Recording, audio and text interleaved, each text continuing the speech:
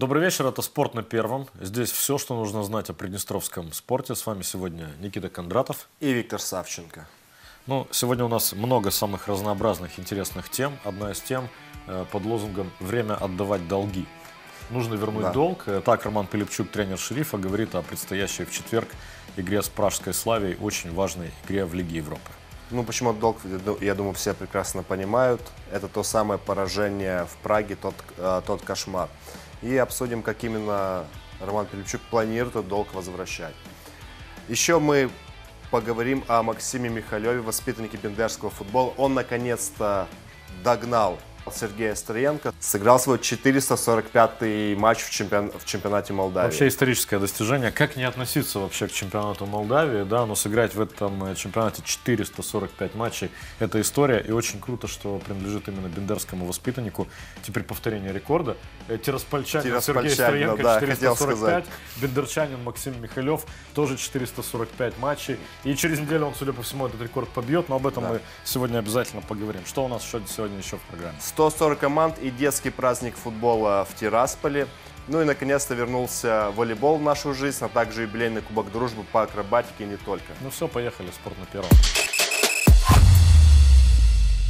Стартовала для нас Еврокубковая э, неделя. Шериф 30 ноября играют против пражской э, Слави. Это Да, это последний четверг. домашний матч Шерифа в этой Лиге Европы. Очень важный матч. Э, Есть маленькая проблема, да? 30 ноября, погоду на улице все видим, хотя вроде бы чуть потеплеет 30 ноября в четверг, Э, но все-таки 22.00, время далеко не детское, сложное, следующий день рабочий. Мы все понимаем, видим, как продаются билеты, с трудом продаются. Роман Пилипчук буквально взывает к Лично. болельщикам. Тренер шерифа лично каждого из вас позвал. Вот вы, вот сейчас, вот кто сидит сейчас у экрана, в четверг 22.00 на главную арену спорткомплекса «Шериф». Минусы, понятно, только что мы их и писали. А плюсы – это Лига Европы, друзья. Но во многие европейские города она вообще никогда не приезжает. Это Лига Европы, и у шерифа все еще есть шанс продолжить еврокубковую кампанию, остаться в Лиге конференции в плей-офф. Да, если вспомнить, так поздно э, Шериф играл против там, мадридск- э, мадридского Реала того же, но был полный стадион. Да. К сожалению, то, о чем мы постоянно говорим, что приходит не на сам Шериф смотреть, а на его соперников. Но в этом случае вот надо просто проявить уважение команде и сказать спасибо за этот еврокубковый сезон. Море эмоций. Ну, в конце концов, Мауриньо сюда в Тирасполь Никита, это же приехал. 13-й матч шерифа уже в этих Еврокубках. 13-й 13-й. матч. Будет еще и 14-й время потом. Мы вот в И надеемся году- еще на 15 и 16. Да, и может и больше. Мы в прошлом году подсчитывали количество матчей шерифа в Еврокубках. Там он под 20 их в итоге сыграл. И посчитали, что это больше, чем у мадридского Реала. Который что- до- который выиграл, доходил, да, да. да, да, который все выигрывает. То есть надо ценить на самом деле эти возможности и, конечно же, э, приходить на стадион. Никого не заставляем, но поймите, когда такое в следующий раз будет. Да. Ну, а на, а на выходных Шериф играл очередной матч в Суперлиге. Из-за того, какой, какая вывеска. Ай-яй-яй. Шериф Зимбру, классика молдавского Ну, мне футбола. кажется, дети, кому там 7-8 лет, они не понимают, о чем Для мы них говорим. классика Шериф Петрокуб, да? Да, для них или Милсами, я не знаю. Или просто сам по себе шериф прекрасен и все.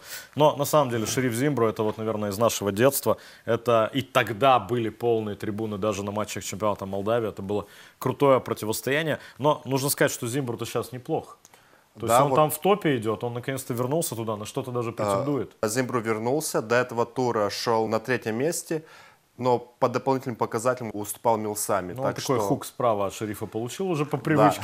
Сейчас уже дополнительные показатели не работают. Но, кстати, игра шериф Зимбру смотрелась, она была э, хорошей. Довольно качественный футбол. И те, кто пришел, кстати, несмотря на погоду, тем не менее, болельщики были. Хотя дождь моросил, там уже было ясно, что снег собирается. Совсем скоро болельщики пришли. Шериф играл э, практически основным составом. Ну, наверное, из таких э, понятно, кто не сыграет. Ну, там Тони Силич, да, молодой хорватский вратарь. Вряд ли он будет играть в Еврокубках. Там незыблемые позиции Максима Коваля. Но, а так, в основном, удив- основа. но тоже удивительно. Обычно Роман Пилипчук перед э, Еврокубком всегда давал Ковалю сыграть в, Да. в чемпионате. Уверен чтобы, в нем. Чтобы почувствовать. А, а тут решил э, оставить его на скамейке запасных. Или Силича готовят. Кто знает, кто знает. Знает Ну, Кстати, этого Роман молодого Пилипчук. хорватского парня очень хвалят. Э, тренер Шерифа. Причем э, говорит не только об игре в рамке, а как там игру в рамке оценить чемпионате Молдовы. Там никто не атакует ворота Шерифа. Игру Здорово ногами. начинает э, атаки, да, для Шерифа это тоже важно. Если обращали внимание, команда сейчас по-модному, по-европейски, начиная атаку, располагается. Вот даже показываем сейчас вратарь в рамке, и слева, и справа, защитники, все как водится. Почти Барселона. Ну, почти Барселона-то Пеп Гвардиола Да, контроль вел мяча. этот тренд, да, и поэтому так появился голкипер Эдерсон в Манчестер Сити. Мануэль Нойер это вообще феноменальный в, Да. в плане игры Далеко ногами. мы забрались, мы уже очень много Ну и вот Тони да. Силич у нас тоже подрастает. Ну и вратарей у Шерифа на самом деле очень много, самых разных, классных. Ну давайте посмотрим э, детали. Вот Никита расскажет о подготовке э, Шерифа к матчу со Славией, на который обязательно нужно приходить. Шериф Зимбру – классика молдавского футбола. В начале нулевых эти матчи собирали аншлаги. Сегодня такого ажиотажа нет. Впрочем, и теперь, несмотря на погоду, болельщики пришли на матч лидеров. Роман Пилипчук выпустил на поле уже привычный состав. Рикардиньо, Талал, Артундуага, Луванор. Также в основе Бадолом, Бекели, Гарананга, Мамуни. Две недели они провели в своих сборных, участвовали в отборе на чемпионат мира 2026 Жоа Пауло остался в запасе, он уезжал играть за Кабо-Верде. Вернувшийся после травмы Луванор вышел на привычную для себя позиции нападающего и сразу забил на восьмой минуте.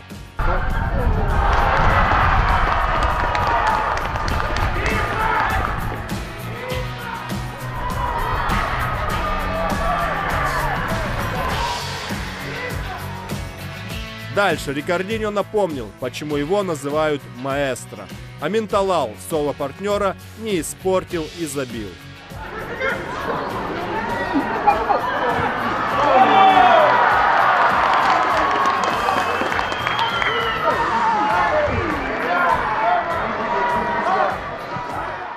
И от первого гола получил тоже удовольствие, от второго. Эпизодами выход из обороны очень хороший был. И то, что вот работаем начало развития атаки от вратаря, сейчас нравится. Мы не боимся, не, не бьем его туда вперед, пытаемся сохранить, пытаемся переходить качественно в начальной фазе развития атаки в атаку. Начинал атаки шерифа голкипер Тони Силич. В Суперлиге Роман Пилипчук делает ставку на него. Максим Коваль вместе с Дмитрием Челядником наблюдали со скамейки, как приднестровский чемпион обыгрывал Зимбру 2-0. Очень важна была сегодня игра и в плане турнирного положения, учитывая тот формат чемпионата.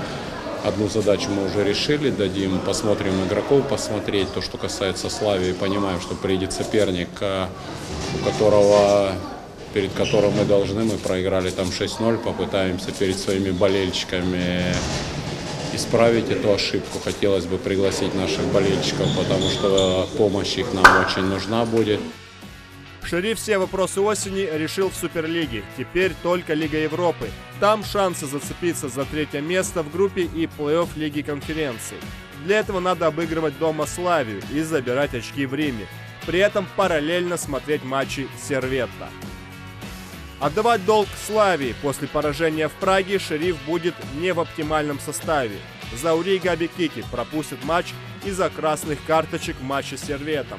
Все остальные заявки на Лигу Европы здоровы и готовятся к игре в Тирасполе. Точно в хорошем настроении. Об этом можно судить по фотографиям из социальных сетей. Снег парней из теплых стран явно порадовал. Остался последний тур в первой фазе Суперлиги, интриг все меньше и Все знают, меньше. что там две фазы уже. Все наши болельщики, конечно, знают. Ну, это второй год так проводят. я думаю, Розыгрыш что уже безумный. На самом деле, мне кажется, нигде так не играют. Но в европейских чемпионатах точно так никто не делает. Э, ФМФ, Федерация футбола Молдавии, придумала уникальный формат. Но дабы до конца была интрига. То есть, ну, Шериф в одну калитку выиграл эту осень, а, как говорится, кто бы сомневался, 8 Ну, команд в одну калитку, все-таки немножко Ну, переживали. я, да, да, я Милсами. преувеличил. Но, знаете, когда ком- команда в 13 играх 4 гола всего пропускает, скорее всего, она доминирует, что и забивает, конечно, больше всех. И вот формируется 6 команд из этих 8, которые будут играть весной. Но самое это забавное в том, что все очки, которые сейчас набраны, они все сгорят. Там в Румынии половина сгорает, в Сербии, если я не ошибаюсь, тоже. В других чемпионатах оставляют все очки. А тут они все сгорят. И эти шесть команд, они в 10 туров решат, кто чемпион весной. Ну и как э, показал прошлый сезон, такая э, формула турнира себя оправдывает. До конца была интрига. Интрига до последнего тура. Я не помню, когда в чемпионате Молдавии, ну раз что там в начале десятых такое было. Ну, потому что формула была Другая. другая да. Тут поменять, так бы Шериф, конечно, досрочно вот. выиграл бы. Но на самом деле все понятно. Шериф, Мелсами, Зимбру, Петрокуб, э, Бельцы. И, и вот, вот за, за да. последнюю путевку как раз сейчас э, бьются Дача Буюканы и Флорешты. Ну, сыграли между собой вот накануне, но это еще ничего не значит. Будет еще один тур, и там определится кто. Но нас в этой паре еще кое-кто интересует. Один конкретный футболист. Максим Михалев. Бендерский воспитанник. Мы начали в анонсе. Человеку 37 лет, э, прекрасный возраст, Карлсон сказал бы. Знаем, что по этому поводу э, в самом расцвете сил. Э, ну и самое главное, в, самом, в самом расцвете рекордов. Он вышел на поле э, в понедельник. 445 матчей у него в чемпионате Молдавии. Он повторил рекорд Сергея Строенко и через неделю, судя по всему, его побьет. Ну, наконец-то он это сделал. Такое Книга ощущение... рекордов Гиннесса. Великий. А, да, но вот этот рекорд вот ему, ему не давался. Он должен был выйти в матче с Шерифом, но там случилась техническая заминка, да. он не смог выйти должен был сыграть в воскресенье. Вмешалась стихия, снегопад, игру перенесли. Преодолел снегопад и в понедельник И вот все-таки вышел. в понедельник он вышел и э, сыграл за Флорешта, и вот догнал Строенко, и да. Михалев и... удивительный, конечно, человек. Даже вот э, достаточно одного этого рекорда, такое долголетие, столько лет в футболе, еще в чемпионате Молдавии. Ну, безумное количество матчей. Что знаем про него, Никита, интересного? Ну, даже в свои 37 он в полном порядке, дает фору молодым на тренировках и один из лучших по, по тестам, по, по спринтам, да, то есть он в, в, в, прекрасной, прекрасной форме. Но это вот это вот поколение. То же самое э, Александр Попович, что в, свои, в своем возрасте это выдает поколение Олегу дедовщина, Никита. дедовщина, да. Да, да. Это, это когда в футболе был тотальный порядок, однозначно. Молодые боялись Поэтому, все, поэтому до сих пор все в порядке, да. да Посмотрим да. на нынешних молодых через, э, через лет 20. Так что хвалим Максима Михалева, пусть нынешний, вот именно, если посмотрим да, на них еще в футболе. И пусть э, дает фору молодым и раньше, мы всегда за него болеем. Э, ну, и радуемся этому. Ну и, конечно, вот еще один такой факт, насколько да. я знаю, им интересовался футбольный клуб э, «Шериф». Еще бы. Еще бы. По нашей информации, шериф интересовался. Он, наверное, отказался приходить. Ну, не, таких деталей я не знаю, что ну, Говорят, было. что это было еще при первом заходе Бардина в шериф. Да. Ну, давайте посмотрим э, еще больше о других новостях спорта в нашем дайджесте. В Тирасполе прошел Кубок дружбы по спортивной акробатике. Этот год стал для турнира юбилейным. Его проводят уже 55 лет. Соревновались более сотни юных акробатов и акробаток. Этот, в общем-то, турнир становления наших спортсменов. То есть в будущем эти спортсмены потом участвуют э, в таких турнирах, как чемпионат мира, чемпионат Европы. Формируется сборная команды Приднестровья, сборная команда Молдовы. На последнем чемпионате Европы в болгарской Варне в составе сборной Молдавии выступала смешанная пара из Тирасполя. Это Арина Богатая и Геннадий Измайлов. Вместе со сборной пара вошла в топ-10 на европейском турнире. Конечно, это большой успех, потому что нам, в общем-то, очень тяжело э, пробиваться на этих больших всех турнирах. Мы первый день были десятые, второй день мы были девятые, мы попали в финал, и в финале мы стали восьмыми.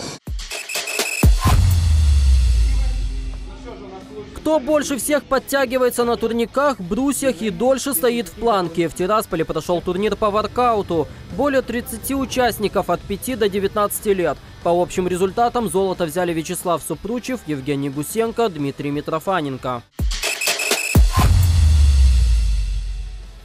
В Черногорской Будве прошел чемпионат Европы по шахматам. Впервые в своей карьере на международном турнире дебютировал Егор Лашкин. Мастер Фиде помог сборной Молдавии взять 14 общекомандное место. А 13 место у норвежцев. За них выступал действующий чемпион мира Магнус Карлсон.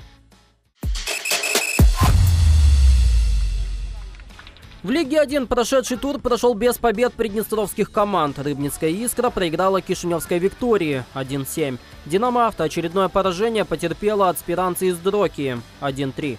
Ноль очков из Унген увез «Шериф-2». Унгены взяли реванш за поражение в Кубке Молдавии от основы желто-черных. Счет 1-3.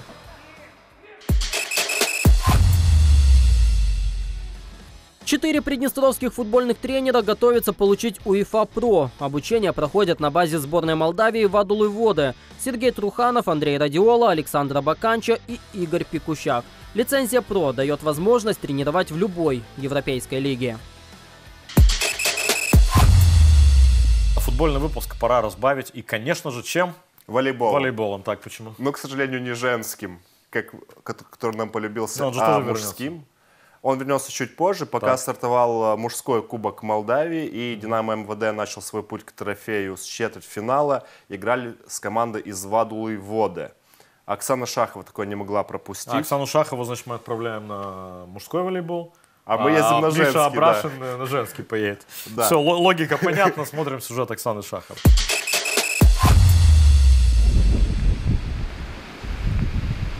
Матч состоится в любую погоду. В Приднестровье это уж точно. А Если кто-то сомневается в этой аксиоме, значит вы не были на Кубке Молдавии по волейболу. Давай, давай,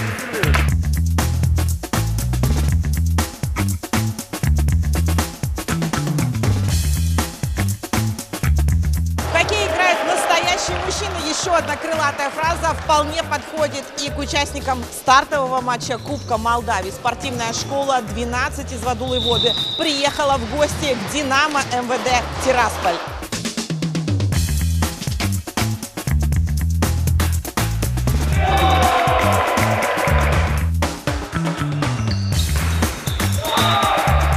Давай защиту. Не, не, не улыбка нужна,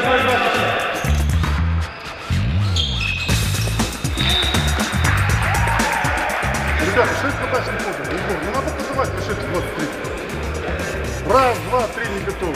Снимайтесь и доставайте, давай.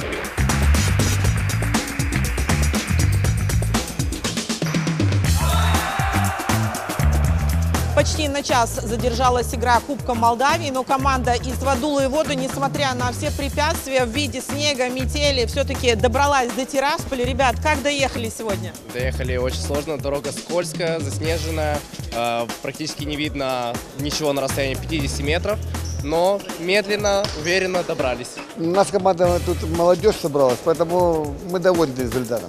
То, что выиграли партию такой команды, для нас это престижно.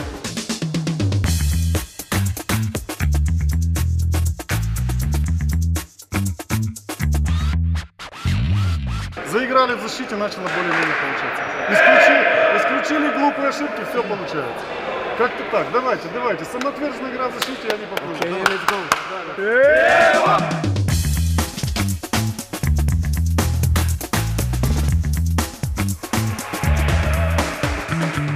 Первая партия была чуть-чуть слабенькая, вяленькая, наверное, погода повлияла. А дальше ребята проснулись. Ну, ждем победы, только победы. Я думаю, да. Они сейчас восполнят эти пробелы и восстановят статус. Ну, вообще, для стартового матча, по-моему, интересно. Нет, да, ну, Интересно, конечно. да. И давно мы не видели уже эти игры, уже соскучились уже. Вообще пришли за победой, поэтому болеем и жаждем только победы. Ну, а вот как сегодня погода такая не помешала приехать за? Погода не мешает, когда ты приезжаешь болеть за любимую, приезжаешь э, болеть за любимую команду и за своих любимых и родных.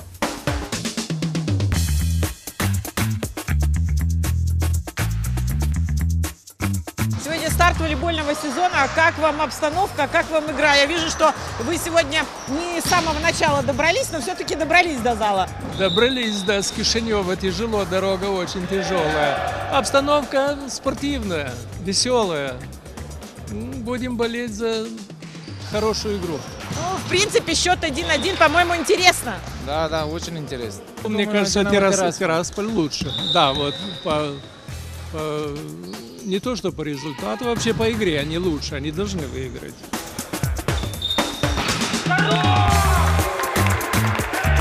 Хороший зрелищный матч.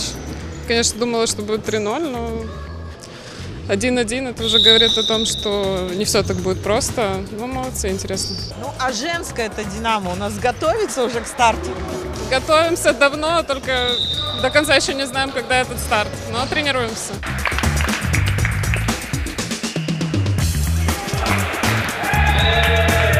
Хорошая игра все. Интересно вообще наблюдать? конечно. Ну, как считаете, на открытии сезона ребята справятся? Да, я уверен, что у них все получится. За окном минус один, а здесь в зале по-настоящему теплая атмосфера. А матч, я бы сказала, просто огонь. Счет был 1-1 после первых двух партий, но сейчас «Динамо» переломила ход матча и выигрывает 2-1.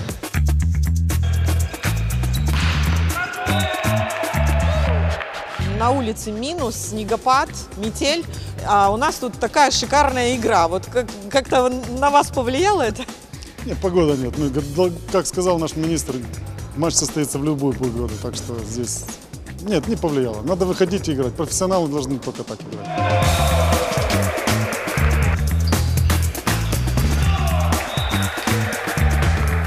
Болеем за «Динамо». Ребенок болеет за папу. Папа у нас либера, Александр Петров. И мы очень надеемся, что папа наш выигрывает.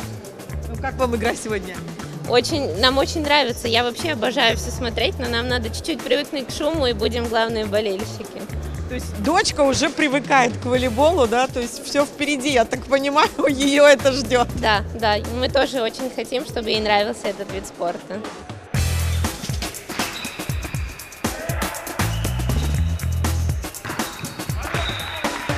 Были хорошая командочка, молодцы, ребята сыграли здорово, дружно сыграли. Первую партию у них немножко не получалось, но потом они нашли свою игру и сыграли хорошо. Хотелось бы победить 3-0, а получилось 3-1. Ну, потому что немножко не собрались, так как первая игра в сезоне. Есть немного моменты, над которыми нужно работать еще на тренировках. Но думаю, это хороший старт э, для начала сезона.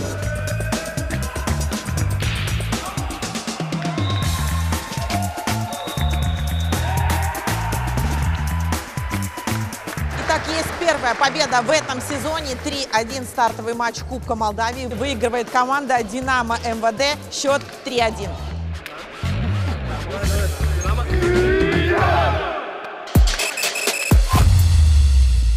Сразу 140 команд из Приднестровья, Молдовы, еще и Румынии приехали в Тирасполь. Это правда? Да. Это на, на зимний кубок, э, который проходит э, в спорткомплексе «Шериф». 140 команд. И возраст ребят, которые там играют, от 7 до 16 лет. Это, Очень классно. это простая арифметика, это тысячи детей плюс родители. И всех Ну, приняли в 1500, Академии минимум Шерифа, все 1500 детей. условия. Да. Э, Но э, на самом деле очень примечательный факт, что отцы этих детей, они, ну, они, понятно, на трибунах, отцы, матери, мы называем лишь конкретных из них. Э, Сергей Даду, Виктор Головатенко, Александр Пащенко, Александр Пащенко. Станислав Иванов. Вот Да. их дети участвуют в этом турнире. Это, конечно, круто. И, и еще любопытно наблюдать за их эмоциями, как они э, переживают за своих детей, что-то подсказывают. э. Ну, как Олег Гуменюк э, говорил, что когда он дает советы сыну, тот потом приходит на его игры. Олег играет за Авангард ТВ ПМР сейчас. Приходит на его игры и говорит, а, папа, ты там вот, конечно, явно дал маху. Хотя надо отметить, что когда сын Олега Гуменюка пришел на матч Авангарда, вот тогда-то Олег и забил. Ну, чтобы показать Вот, пример, как, Однозначно, э, да. как так надо. что здесь, э, на этом э, детском турнире, я надеюсь, это тоже работает уже в обратную сторону. Давайте сюжет Михаила Абрашина о зимнем кубке посмотрим.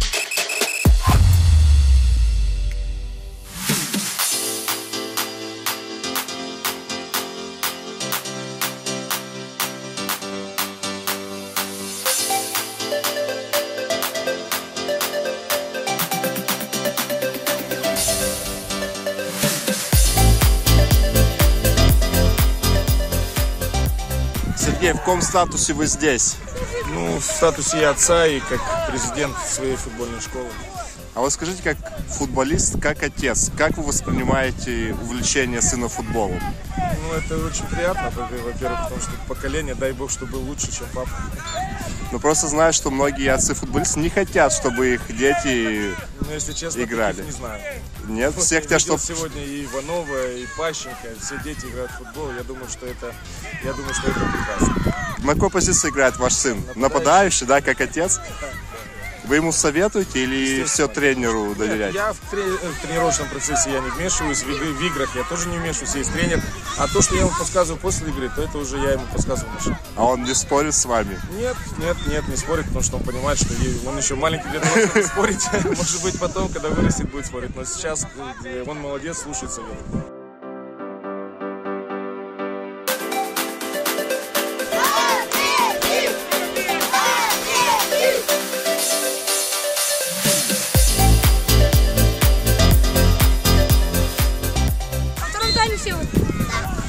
Забьешь? Да.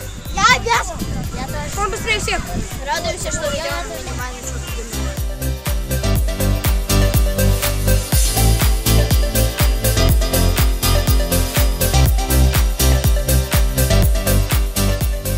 Здравствуйте. За кого болеем?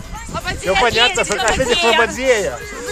Как вам футбол? Замечательно, очень хороший турнир, очень много команд, очень много эмоций. И дети довольны, взрослые, да, самое главное, довольны. Очень хорошо. И классно, что опыт для ребят, новый опыт, встретиться с другими командами, прям очень Даст здорово. Бог подружиться. Для них это впервые. Они сейчас на данный момент впервые участвуют с э, международными командами. Поэтому, конечно же, у нас эмоции просто зашкаливают. Не холодно? Нормально, у нас Согреваемся эмоции игрой. Да, да.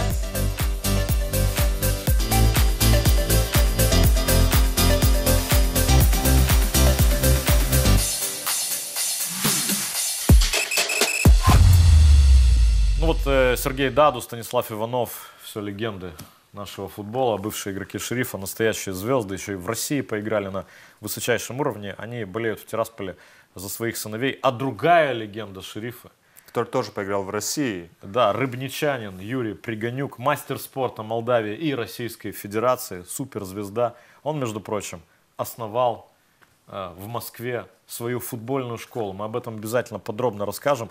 А еще, что для нас особенно приятно, это говорит об уровне развития вообще-то Соки. Он всей душой болеет за Авангард ТВ ПМР. Он смотрит все наши матчи. Это фантастика. И мало того, он еще советуется с главным тренером «Авангарда» Денисом Наконечным. Сам по- дает советы, советы берет. Да. берет советы по тренировочному процессу. Ну и помогает Денису Наконечному, как он сам говорит, держать раздевалку. Вот давайте сейчас послушаем, Да, что сказал? Юрий Андреевич. Я звоню и говорю там Сане Поповичу, Гуме, говорю, ребят, вы там помогите Денису, придержите раздевалку, потому что если я приеду, там мало места будет. Я такой, я просто вспыльчивый. Э, Как бы Денис молодой тренер, я тоже молодой начинающий тренер, я здесь создал свою школу футбола. Очень трогательно Юрий Пригонюк говорит о Денисе Наконечном, называет его своим воспитанником, потому что они вместе пересекались еще в команде Телегул Тирос. Э, Денис был совсем молодой. Он вообще дебютировал в чемпионате Молдавии в очень-очень э, юном возрасте. И вот он был рядом с такими. Мы сейчас уже сегодня проходились по этой дедовщине. Вот она эпоха дедовщины. И зато потом какие э, отношения после этого сохраняются. И то, что Юрий Пригонюк, ну вспомните его, как он играл за шериф. Это вот эпоха, когда много наших местных играло. Это связка Вот в центре обороны Сважи. Пригонюк Тархнишвили. Это же было потрясающе. Ле- просто. легендарно. Абсолютно легендарно. И он сейчас смотрит, и он всерьез, то есть он там не поверхностно там посмотрел «Авангард», он звонит после игр, советы раздает детальные по конкретным эпизодам. Александру Поповичу, Олегу Гуменюку может позвонить. Ну и по-хорошему так, чуть напихать. Ну, Олег Гумник тоже, как э, говорит Юрий Пригнюк, это его воспитанник. Да. А с Александром Поповичем они вместе выросли э, в Рыбнице. Вместе дедовщинили. Да. И я вот спрашивал э, э, Юрия Андреевича, в чем вот секрет Александра Поповича его футбольного долголетия. Он Так. сказал, гены, родители легкоатлеты. Но надо сказать, что Александр Попович при этом абсолютно тотальный зожник. Э, идеальный режим, э, здоровый образ жизни, пример подражания для многих. Но мы сейчас про Юрия Пригонюка. Итак, он в Москве, он создал там свою футбольную академию, где, говорят, очень такие жесткие условия для детей. Нынешнее Да. поколение не всегда ценит, но те, кто туда попадает, я уверен, они вырастут в хороших футболистов. Называется «Штандарт». Это академия, ездит и по международным турнирам. Вот Никита поймал Юрия Пригонюка, записывал интервью как раз, когда тот или был еще в Беларуси, или только приехал из э, турнира в Беларуси. Только В общем, приехал. Да, в общем, э, интересно, интересная работа. Очень классно вложиться в такое по завершении карьеры, да, то есть продлить себя в футболе. Э, Ну, можем порадоваться за Юрия Пригонюка и продолжим за него болеть, конечно. Причем там амби- амбиции не заканчиваются на детском футболе. Конечно, это важно, э, развитие детского и юношеского футбола, но также у Юрия Пригунька амбиции на футбольный, на взрослый футбольный клуб. Так что давайте его послушаем, он лучше нас все расскажет. Это очень интересно.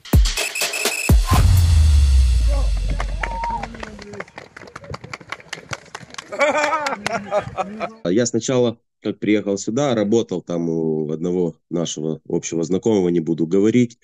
Работал, развивали клуб. Но получилось так, что у нас разошлись э, мнения о дальнейшем развитии детского футбола. И, соответственно, мы были уволены. я и еще группа тренеров, это Виталий Владиславович Мостовой и Андрей Валерьевич Голубев. И недолго думая, мы посоветовались и решили создать свою академию. Э, место уже, ребята уже занимались у нас долго, и много ребят перешли за нами, за тренерами. Поэтому вот так вот появилась наша академия. Ну, академия это еще громко сказано, это просто пока школа футбола, мы лицензируемся. И у нас э, появился спонсор э, Петрушко Святослав Олегович, довольно-таки известный человек в футбольном мире. Он когда-то был и член Совета директоров «Динамо Московского». И он сейчас наш, у нас является членом попечительского совета. И он нам предложил, ребят, штандарт, старое русское слово, переводит флаг. Давайте попробуем назвать штандарт в фиолетовых цветах. Мы поговорили и решили, что штандарт.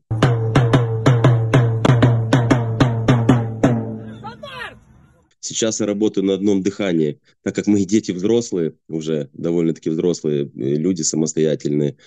И всю, всю любовь я отдаю этим детям. И очень приятно смотреть, как по истечении определенного времени они выполняют то, что я от них требую. Так что я наслаждаюсь своей работой. Смотрите, я тренирую, у меня группы есть 2013 год, 2012 год, 2011 год, и есть самая маленькая группа 16-17 год. Вот 16-17 год, с ними просто м, обалденно работать, это как губки они. Они прямо впитывают вот то, что ты говоришь.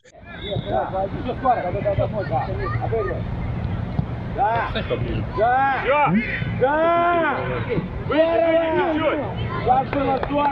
А те ребята постарше, они уже как бы уже понимают, я уже долгое время с ними работаю, уже 3-4 года с некоторыми работаю, поэтому они иногда с полувзгляда понимают мои требования. Вы знаете, я в первую очередь прививаю у детей, э, чтобы они уважение к старшим, это в первую очередь. Во вторую, у меня в командах везде дисциплина, потому что есть такая поговорка, дисциплина бьет класс.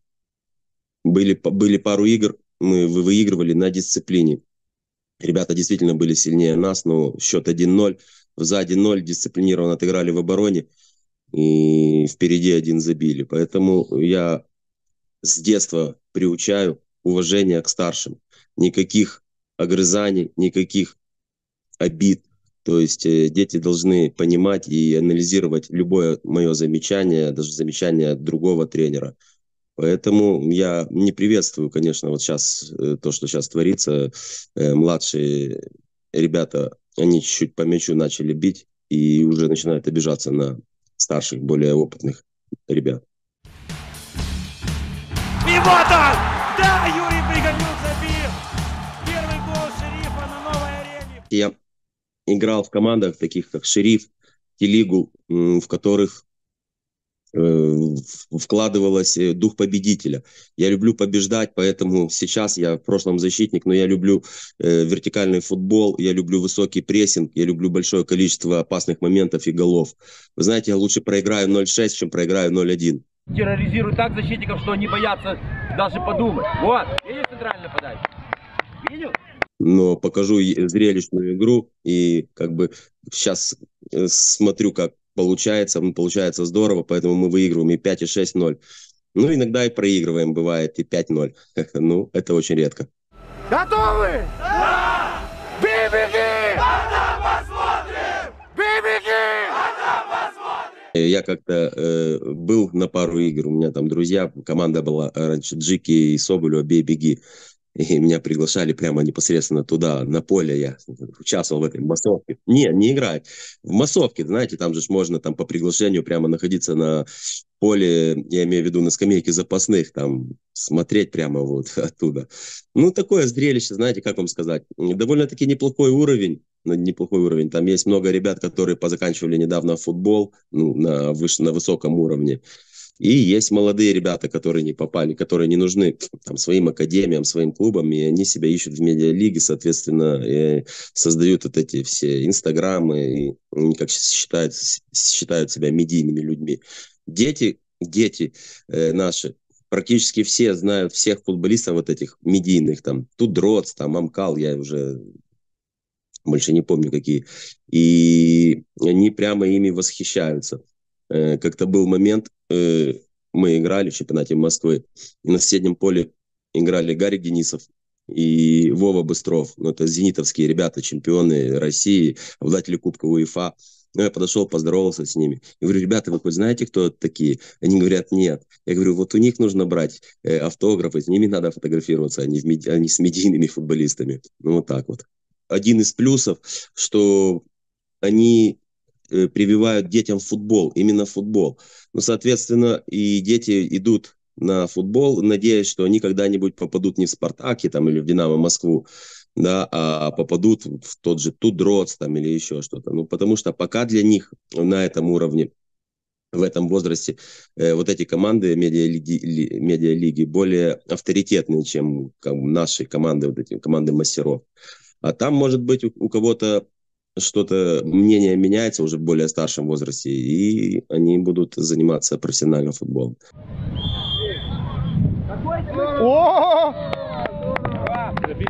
Поставлены задачи нашим попечительским советом, поставлены задачи не в ближайшее время, в 5-6 лет создать команду из наших воспитанников э, на уровне профессионального футбола. То есть профессиональный футбол у нас начинается, это ФНЛ-2.